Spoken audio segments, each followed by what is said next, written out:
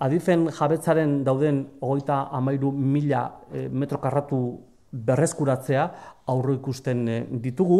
eta horrek erraztuko duena da, ba, erabiltzen ez diren eh, trenbideak, urtetan apakatuta dauden bagoi guzti horiek, eta kaltatuta dauden pabelloiak duten esparru horiek guztiak, iregintza ikuspuntutik, ba, zeharo, Biziberritzea, Hori da e, e, egitasmo e, izarmen honen nahi edo helburu nagusia. Eta bestalde, bueno, ba, ez ezagun astu, Gipuzkako e, irunek, irune beak daukan e, garrantzia, ba, Gipuzkako e, bigarren iria den e, irunen konexio beharrei erantzun gondien espazio intermodalare sortzea.